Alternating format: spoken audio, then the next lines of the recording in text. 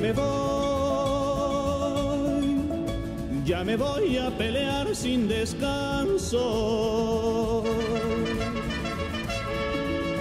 A Durango me lleva el teniente Jacinto Morales y no puedo decirle que yo me quisiera quedar.